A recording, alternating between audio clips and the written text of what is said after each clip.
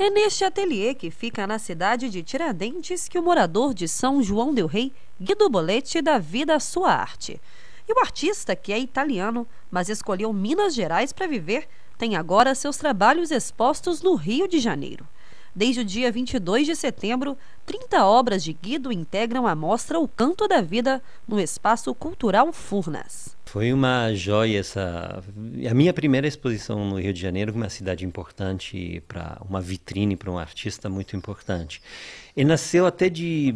A gente teve sorte, uma parceria com o Ronildo Assis, que é um produtor cultural aqui de São João de Rei, e a gente tentou participar de um edital de Furnas uh, para entrar no Espaço Cultural Furnas, lá em Botafogo, onde tem projetos de arte visual, teatro, música. Eles aceitam várias propostas, selecionaram o nosso projeto dentro de 750 projetos, 27 foram aprovados e um foi a gente que na nossa primeira tentativa. Esta é uma das maiores exposições da carreira do artista. Lá são duas salas, é a galeria é em dois andares, que dão acesso até ao teatro.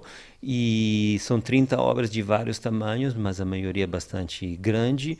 E elas retratam toda essa minha última fase de trabalho. Digamos que são obras recentes, do último ano, no máximo ano e meio. Maior corpo da exposição é dos últimos é, eh, 12 meses. E quem não tem a oportunidade de ir até o Rio de Janeiro tem uma opção impressa para conhecer um pouco das telas que fazem parte da exposição.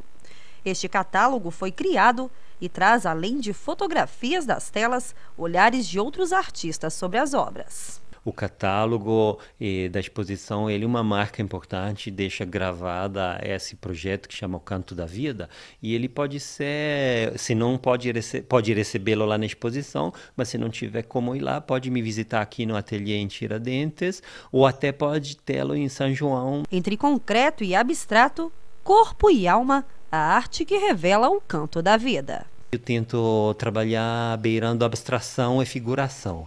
E eu acho que essas duas coisas são um pouco como o corpo e a alma. A alma é mais abstrata, o corpo é mais concreto, né?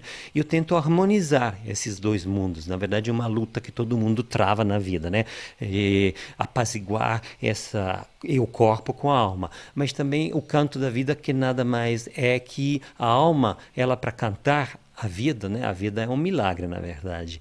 E a vida, eu acho sempre a minha visão, a minha visão artística é muito otimista e positiva.